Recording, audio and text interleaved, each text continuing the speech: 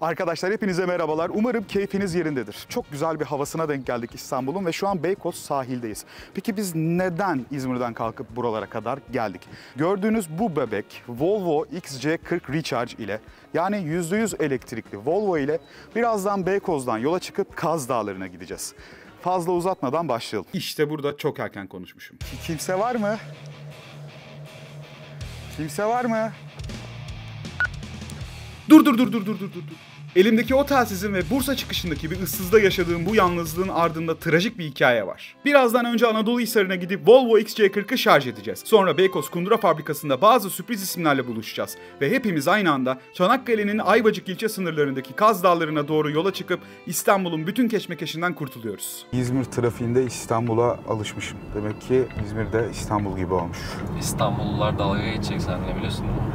Doğrudur. İlk durağımız Anadolu Hisarı'ndaki e-şarj istasyonu oldu. Burası 200 kW'lık hızlı şarj imkanı veren bir istasyon ve Volvo XC40 bu tip istasyonlarda %10'dan %80'e 28 ila 30 dakikada şarj olabiliyor. Ancak vaktimiz şarjı %77'ye getirmeye ancak yetti. Çünkü yetişmemiz gereken bir yer var. Neden biz yaklaşık 20-25 dakikadır yolda olmamıza rağmen hala bataryamız %77? Çünkü bu arabada çok güzel bir olay var. Özellikle İstanbul trafiği gibi böyle sık sık dur kalk yaptığınız ve frene sürekli bastığınız sıkışık ortamlarda araba biliyorsunuz bu hem e, mild hibritlerde de plug-in hibritlerde olan bir özellik. Frene bastıkça bataryayı tekrar doldurur. Ama bu One Pedal Drive özelliği Volvo XC40'daki ve Volvo'nun elektrikli arabalarındaki sadece gaz pedalına görev vererek ayağınızı gazdan kaldırdığınız zaman yaptığınız hareketi fren olarak kabul ediyor ve şu an yaptığım gibi mesela gazdan ayağımı çektiğimde araba yavaşlıyor ve otomatik olarak güç modundan şarj moduna geçiyor ve araba aslında sıkışık trafikte dur kalk yaparak fren özelliğini kullanarak sürekli bataryayı şarj ediyor. Bu aynı zamanda arabanın mekanik fren aksamlarını koruyan ve o mekanik aksamların da ömrünü uzatan, bakım sürelerini kolaylaştıran önemli ve teknik bir detay. Çoğu elektrikli arabada böyle ince düşünülmüş ayrıntılar yok. Volvo XC40'da özellikle şehir içi trafikteki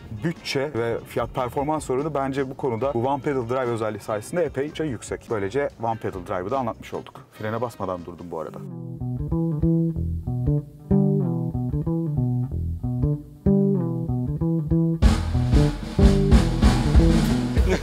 Neredeyiz arkadaşlar? Beykoz sahil, Nereye gidiyoruz? Kaz Dağları'na, Çanakkale, Ayvacık. Ayvacık. Biraz Amaç- kafalar karışık ya. Tam Herkesin farklı bir cevabı var, farklı bir tarzı var zaten herkesin. Ama ortak noktamız ne? Elektrikli otomobille 450 kilometre yol yapacağız ve tek şarjla. deneyeceğiz. 450 mi? Ben 430 olarak hesapladım. Yapma. Ha, Burak 430 Bu diye Burak gelmiş ya. kaldı. Burak sen de. Ben bir şarj edeyim. Hadi yolunuz Hadi açık olsun. başlayalım yolda. İyi yolculuklar. şeyler yaşayacağız. Hadi bakalım. Görüşürüz.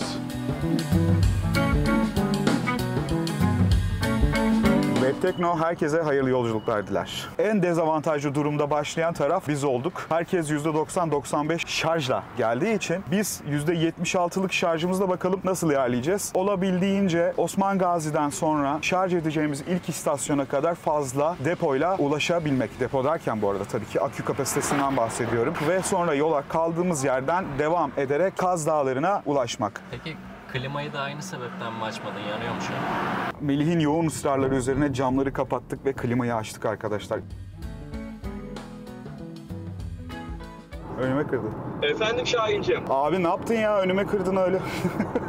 Abi sinyal verdik, solladık. Nasıl önüne kırdın? Yapma gözünü seveyim.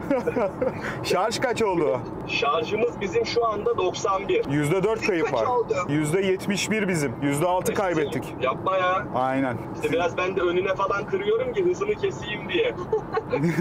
Eyvallah. Görüşürüz abi. Volvo'nun en önemli yaptığı şey şu. Fosil yakıtlı modellerinde XC40'ın sağladığı ne kadar konfor varsa, lüks varsa bu arabaya da aynı şekilde getiriyor. Tabii elektrikli olmasının getirdiği bazı ekstra konforlar da buna dahil edilebilir. Tabii ki araç elektrikli olunca ne önemli? Bataryanın kapasitesi önemli. Bizde bu arabada bir lityum iyon tipi bataryamız var. %10'dan %80'e 28 ila 30 dakikada araba dolum sağlıyor. %80'den sonra batarya pil sağlığını korumak için şarj işlevi yavaşlatılıyor ve yavaşlatıldıktan sonra totalde DC bir e, şarj istasyonundan daha yüksek hızlı, ultra hızlı şarj istasyonundan istasyonundan şarj ettiğinizde 1 saatte, 1 saat 15 dakikada arabanızı sıfırdan 100'e getirebiliyorsunuz. Ama genelde batarya pil sağlığı için tavsiye edilen şey, yani bu sadece Volvo'nun tavsiyesi değil, daha yavaş şarj kullanmak. Öyle bir durumda da tavsiye edilen evden şarj etmek. Ev tipi bir hatla şarj ederseniz de sıfırdan 100'e 8 saatte araba fulleniyor. Alo, abi ne yaptın ya? Gökyüzünden mi gidiyorsun? Neredesin? Kendi rotamı oluşturdum. Şarj durumun nasıl? %89. Bir şey de oldu bizim ya. %10 kaybettik biz. Biraz basmışım abi. Rol çaldım ama. Basın ki yolda kalır içerik çıksın abi olayı Kimse var mı? Kimse var mı?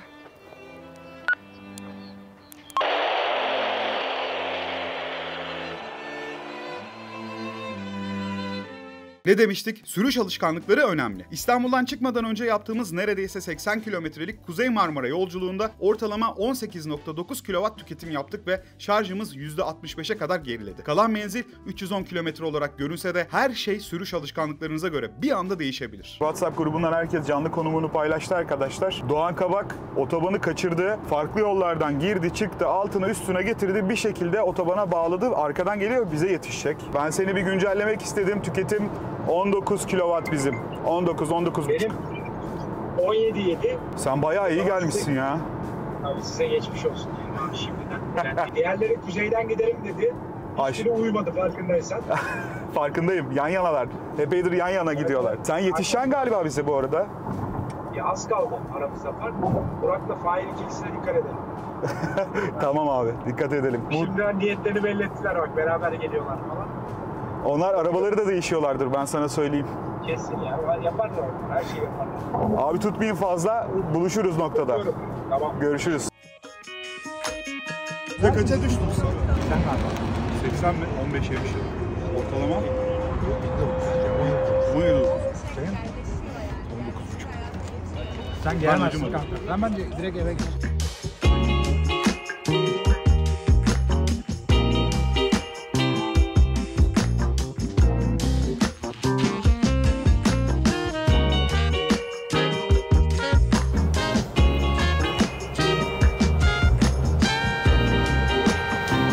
Butona basınız diyor. Nerede? Biz bu yol üstünde Bursa'dan çıkmadan e-şarjın bir istasyonuna girip arabayı DC bağlantıyla yüksek hızda 1 saat içerisinde şarj etmeyi ve fullemeyi hedefliyoruz. Batarya sağlığı için eğer bize yeterli kilometre miktarını verirse daha erken %80 olduktan sonra da çıkabiliriz. Toplamda 154 kilometrelik bir yol geldik. Ayrıca kalan menzilimizde %48 bataryayla 220 kilometre gözüküyor. Unutmadan bu arabanın en büyük iddiasının tasarruf, verimlilik olduğunu söylemem gerekiyor size. Bunun için Volvo güzel bir mobil uygulama geliştirmiş. Volvo Cars isimli. Zaten daha önceden olan bir uygulamaydı ama şimdi özellikle elektrikli arabalara göre birkaç güncelleme yapmışlar. Araç şarjdayken ya da kullanım sırasında tasarruf etmenizi işte yolculuk başına ya da aylık bazda bir aylık kullanıma vurduğunuzda %10, %15 daha tasarruflu bir şekilde yolculuk yapmanızı sağlıyor. Hem şehir içi hem şehir dışı dahil. Eğer elektrikli bir araçla uzun yola çıkacaksanız çok iyi bir plan yapmaya ihtiyacınız var. Sabah %77'lik şarj ile yola koyulmamız bize menzil anlamında dezavantaj getirdi. Otobanda hız sınırına yakın bir şekilde gitmek var olan menzilimizin daha hızlı şekilde düşmesine sebep oldu. Normalde aracı 28-30 dakikada %80'e kadar doldurabilecek 200 kW'lık şarj istasyonları da menzilimizin dışında kaldı. Bu arada ek bilgi. Yol boyunca yapımı süren pek çok hızlı şarj istasyonu gördük. Siz bu videoyu izlerken belki o istasyonların bir kısmı hizmete girmiş olabilir. Bildiğiniz istasyonları yorumlara yazın herkes faydalansın. Sabah yolculuğa torpilli başlayan Doğan Kabak, Carvisor ve Benzin TV ile Bursa, Mudanya'da ayrılarak 50 kW gücündeki e-şarj istasyonunda bir mola verdik. Arabamız şarjdayken Doğan Kabak'a da bahsettiğimiz Volvo Cars uygulamasını size biraz anlatayım. Çünkü diğer ekiplerle aramızdaki mesafe açılsa da yolun kalan kısmında çok işimize yarayacak birkaç özelliği var bu uygulamanın. Buraya kadar İstanbul'da yolculuğa başladığımız %77'lik batarya oranından %30'a kadar düştük. Yani %47'lik bir kayıp var ve kalan menzilimizde 130 kilometre. Peki kaç kilometre yol gitmişiz? 216 kilometre yol gittik etmişiz ve tüketimimiz 19.1 kW olmuş 100 kilometre başına. Bu aslında arabanın yazan değerinden, nominal değerinden yüksek bir tüketim oranı. Çünkü yolun büyük çoğunluğunu biz arabada ciddi anlamda gaza basarak geldik. Evet dostlar daha önce Volvo Cars uygulamasından bahsetmiştim sizlere. Volvo Cars uygulamasında batarya verimliliğini arttırabilecek birkaç tane ekstra seçenek olduğundan bahsetmiştim. Şimdi genel olarak bir uygulamaya bakalım bize neler sunduğunu yakından size göstereyim. En başta aracımızın kilitlerini uzaktan kontrol etmemize izin veren bir kapı kilitleme fonksiyonu var. Şehir dışına çıktınız, hava yoluyla gittiniz, başka bir şehirdesiniz ama aracınız bulunduğunuz evin otoparkında, sokakta. O sırada aracınızın içinde unuttuğunuz bir şeyi uzaktan başka bir yakınınıza, atıyorum eşinize, çocuğunuza aldırmak için kilitleri uzaktan açabiliyorsunuz. Tabii ki burada hani güvenlik önlemlerini sonuna kadar alıyor Volvo ama burada uzaktan kilitle veya uzaktan kilidi aç özelliği anahtarla yanında bulunmayan yakınınızın aracınızın içinden bir şey unuttuğu anda bunu almasını sağlıyor. İkinci özelliğimiz iklimlendirmek ki bu uygulamanın en kritik özelliklerinden birisi aslında. Şöyle ki aracın klimasını siz daha aracınıza ulaşmadan önceden çalıştırabiliyorsunuz. Başlat dediğiniz anda aracınızın klimasını uzaktan başlatıyorsunuz ve siz gittiğinizde soğuk istiyorsanız soğuk, sıcak istiyorsanız sıcak bir şekilde aracı tekrar buluyorsunuz. Burada asıl önemli güzel bir detay da zamanlayıcı detayı. Şöyle ki bu zamanlayıcı özelliğini kullanarak siz dilediğiniz gün, dilediğiniz saatte iklimlendirmesini dilediğiniz gibi ayarlayabiliyorsunuz. Lakin ben burada hani Volvo geliştiricilerine de ufak bir not iletmek istiyorum. Uygulamada bence olursa çok işe yarayacak bir özellik daha var. Başlat seçeneği ya da zamanlayıcı seçeneklerinin arabanın içerisindeki sıcaklık derecesine de müdahale etmemize bence izin vermesi doğru olur. Çünkü aracı hangi derecede bıraktıysanız, örneğin serin bıraktınız, 22-23 derecede bıraktınız. Uzaktan başlattığınızda ya da zamanlayıcı ayarladığınızda aracın içerisinde ayarladığınız son dereceye göre iklimlendirmeyi yapıyor. Diğer özelliğe geçiyorum. Aracınızın şarj durumunu anlık olarak bir şekilde görebiliyorsunuz. Tabii ki yine aracınızın yakınında, yanında olmanıza gerek yok. Aracınızı şarja taktınız diyelim. Evinize indiniz ve baktınız %80 dolmuş batarya verimliliği için buradan müdahale edip şarjı kendiniz bitirebiliyorsunuz. Bir diğer önemli detay tıpkı iklimlendirme seçeneğinde olduğu gibi burada bir şarj planı da oluşturabiliyorsunuz. Plan ekle dediğiniz zaman herhangi bir başlangıç ya da bitiş saati seçebiliyorsunuz. Bu da şunu beraberinde getiriyor. Biliyorsunuz özellikle ev elektriği gece saatlerinde çok daha ucuz olur. Tarifeler daha uygun fiyatlı olur. Eğer arabanızı ev elektriğiyle şarj ediyorsanız akşam saatlerinde 6-7 gibi 8 gibi hatta 9 gibi eve ulaştığınızda aracınızı park edip şarja takıp burada kurduğunuz plana göre gece saatlerinde şarj işleminin başlamasını sağlayabiliyorsunuz. 9'da bıraktığınız arabayı otoparka diyelim şarj kablosunu taktınız çıktınız evinize. Burada başlangıç saati 12 olduğu için 12'den önce araç şarj işlemine başlamayacak demektir. Bitişi de sabah 6 olarak ayarladığınızda siz iş için yolculuğa çıkmadan önce 1 saat önce 2 saat önce araç 6 saat boyunca şarj olacak demektir. Ev elektriğiyle bataryanın Volvo XC40 Recharge'da sıfırdan 100'e 8 saatte dolduğunu daha önce belirtmiştim size. Kendinize uygun bir plan olarak işte 11-7 ya da işte 12-8 arası gibi daha verimli saatleri de seçebilirsiniz. Yoğun bir kullanım yapıyorsanız eğer. Ki zaten her gün ve her gece aracınızı şarj edeceğinizi de düşünmüyorum. Sadece şehir içinde kullanıyorsanız, her gün şehir dışına 300-300-600 kilometre yol yapmıyorsanız. Burada uygulamaya içine gömülü konum arayabileceğimiz bir harita seçeneğimiz bulunuyor. Hem uydu hem de trafik durumunu buradan kontrol edebiliyoruz. Uygulamanın orta seçeneğinde, orta menüsünde ise bize XC40'ımızla ilgili bazı istatistikler ve bilgiler yer alan bir sayfa çıkıyor. Burada aracın yazılım sürümünü görüyoruz. Aracın detaylarına bakabiliyoruz. İşte VIN numarası, kayıt numarası, mevcut ağırlığı gibi istatistiklerimiz yer alıyor burada. İşte yaptığımız son yolculuğun ortalama tüketimi, ortalama hızı, toplam kilometre sayacı, yaptığımız son yolculuğun kilometre sayacı gibi verilere buradan ulaşabiliyoruz. Asıl güzel özellik ise hem araç içindeki ekrandan hem de mobil uygulamadan ulaştığımız sürüş günlüğü detayları. Şimdi biz bu şarj istasyonuna gelene kadar hatırlarsanız 200 kilometreye yakın bir yol yapmıştık. Bunun bir kısmında şarj günlüğü açık değildi. Açtığımız andan itibaren yaptığımız en ufak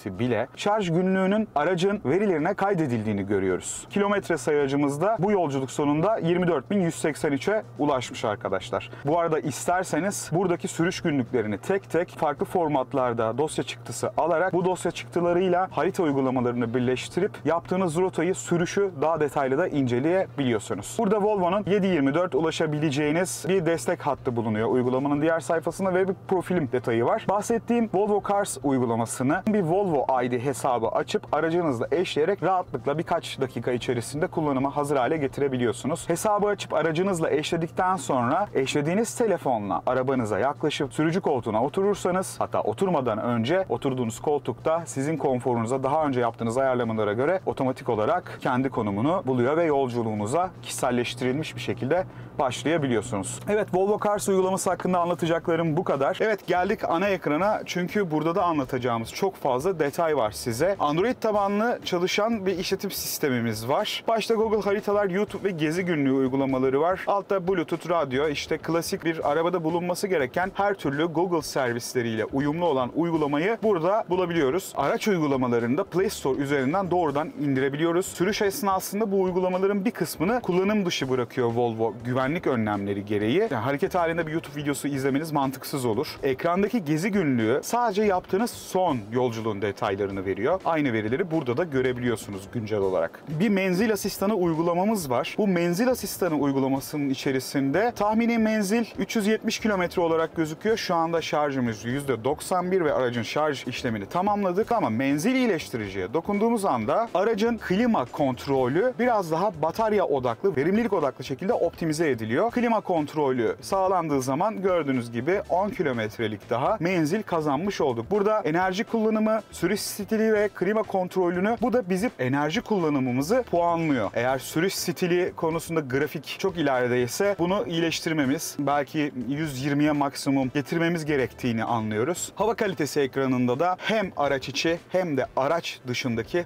hava kalitesini görüyoruz. Hava kalitesinin PM2.5 standardına göre ayarlanması Volvo XC40'ın içerisinde bize şunu gösteriyor. Her zaman dışarıdan çok daha sağlıklı bir havaya kavuşuyoruz. Tabii ki de araçta sadece bir Android ya da Google işletim sistemi uyumu var diye iPhone'ları kullanamayacak değiliz. Apple CarPlay uyumu da olan bir araba bu. iPhone'unuz varsa burada bağlayıp Apple CarPlay ile de birlikte Apple uygulamalarına erişebiliyorsunuz. Kablosuz CarPlay çok daha iş görebilir ve tercih edilebilir bir seçenek olabilir. Ekstra kablosuz aparatlarla birlikte Apple CarPlay'i de kablosuz hale getirebiliyorsunuz ki zaten bunu mutlaka bileniniz vardır aranızda. Ayarlar bölümünden sürüş dinamikleri ve sürüş modları bölümüne girdiğimizde burada standart ve offroad olmak üzere iki farklı seçenek karşımıza çıkıyor. Volvo XC40 Recharge'ın tek motorlu ve extended range olarak yani uzatılmış menzil olarak şu anda bizim kullandığımız sürümünde iki farklı sürüş modu var. Bunlar standart ve offroad olarak karşımıza çıkıyor. Sürücü desteği burada hız limitini önceden belirleme, otomatik hız ayarlama gibi destekler var. Pilot asist var. Bunlar sürüşü kolaylaştıran ve uzun mesafeli yolculuklarda sürücü olarak sizin yorgunluğunuzu engelleyen önemli detaylar. Sürüş dinamiklerinin ardından şarj limitleri kısmını görüyoruz burada. Bir akım limiti koyabiliyoruz. Mobil uygulama üzerinden ayarlayabildiğimiz zamanlayıcıyı aynı zamanda buradaki şarj ekranından da ayarlayabiliyoruz. Tabi ayar seçenekleri de tahmin edeceğiniz üzere koltuk optimizasyonları artık bu Volvo'nun konforundan alıştığımız hem ön hem arka koltuklar için farklı farklı ses optimizasyonları ve seçenekleri sunan bir arayüz karşımıza çıkıyor. Surround sesi açabiliyoruz. İşte bağlanabilirlikten söz ediyoruz zaten. Bluetooth ve araç içerisinde dahili sim bulunuyor. Araç içerisindeki dahili simden bahsetmişken küçük LTE sembolü görüyoruz. Bu şuradan geliyor. Volvo global çapta yine bir global GSM şirketi olan Vodafone'la anlaşmış durumda ve Türkiye'deki XC40'lar da ve diğer elektrikli araçları da teslimat tarihinden itibaren 4 yıl boyunca ücretsiz yazılım güncellemesi ve internet bağlantısı sunuyor. Yani bu aracın içerisinde kullanacağınız uygulamalar haritadır, YouTube'dur ya da Play Store'dan indireceğiniz diğer uygulamaların tamamı Vodafone'un internet desteği sayesinde geliyor. Aracın içerisinde Vodafone'un sim kartı bulunuyor. 4 yıllık sürenin sonunda biz Volvo'ya sorduk ne olacak diye. 4 yıl sonrası için teslimat tarihinden tüketicilere güzel paketler ve seçenekler sunacaklarını, bunun için de güncellemeleri takip etmeleri gerektiğini belirttiler. Bilginiz olsun ama 4 yıl ücretsiz internet erişimi elektrikli bir araç için oldukça önemli. Biliyorsunuz bu arabalar için OTA dediğimiz uzaktan güncelleme sistemleri oldukça hayati. Bir anda aracın performansını katlayan yazılım güncellemeleriyle araçların ömrü uzuyor. Mekanik parçaların bile ömrü uzadığı oluyor dostlar. Ana ekrana dair de anlatacaklarım aslında bu kadar. İstasyondan %90 şarjla ayrıldık ve İstanbul-İzmir otoyolu üzerinden yolculuğa devam ediyoruz. Sen bir sürü özellik anlattın, bir editör gözüyle bir şeyler aktardın ama senin kişisel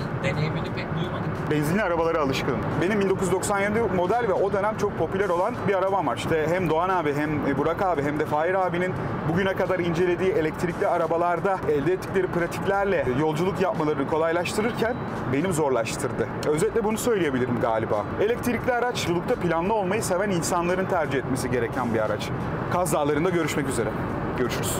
Bir saat aşkın yolculuğun ardından Balıkesir Karesi'de ikinci kez şarj molanızı veriyoruz. Elektrikli arabalarla yolculuk yaparken zaman sorununuz varsa şarj istasyonlarında olabildiğince az vakit harcamak şart. Peki neden? Elektrikli araba bataryaları tıpkı hızlı şarj destekleyen akıllı telefonlardaki gibi çalışır. Şarjın en hızlı yapıldığı aralık %20'den %80'e kadar olan aralıktır. %20'den önce ve %80'den sonra şarj hızı düşürülür ki bataryanın sağlığı bozulmasın ve ömrü uzasın. Ki Volvo XC40'ın lityum iyon bataryaları %80'e 28 ila 30 dakikada ulaşıyor. Ancak 80'den sonra %100'e ulaşmak bir o kadar daha çok vakit istiyor. Yani elektrikli arabayla uzun yol yaparken her istasyonda, her seferinde %100 doluma kadar beklemek size çok vakit kaybettirir. Buna 20-80 kuralı diyelim. A noktasından B noktasına giderken yola %100 şarj ya da olabildiğince dolu batarya ile başlıyoruz. Yola çıkmadan önce aracımızın tüketim değerlerine göre şarj istasyonlarını belirliyoruz. Yol boyunca batarya %20'nin altına düşmeden hatta %30, %40 şarjımız kalsa bile ilk hızlı şarj istasyonuna giriyoruz. %80 olduğunda yola devam ediyoruz. B noktasına olan mesafeye bağlı olarak bunu yol boyunca tekrar edebiliriz. Böylece her seferinde 1-1,5 saat boyunca %100 dolum beklemektense 20-80 kuralını uygulayınca her şarj işlemimiz 15-20 dakika maksimum 30 dakikada bitiyor. Ve yine böylece iki kez dolum yaptığımız yolculukta toplamda 2,5-3 saati bulacak bekleme süreniz belki de 1 saat hatta 40 dakikanın bile altına düşüyor. Bu da zaten fosil yakıtlı bir araçla mola verdiğinizde harcanan zamana hemen hemen eşdeğer. Üstelik çok daha düşük maliyetli. Maliyet kısmına birazdan geleceğim. İşte biz bunu yapmadığımız için geciktik. Diğer ekiplerle aramızda neredeyse 1,5 saatlik fark oluştu. Teşekkür ederiz siz de bu yolculuğa çıkmak. Eksiyiz. alo. Ama iyiyiz. İyiyiz. Problem yok. Olsun. Varış noktası önemli değil. Yapılan yolculuk önemli. Bu. Arada. Görmek ister misin?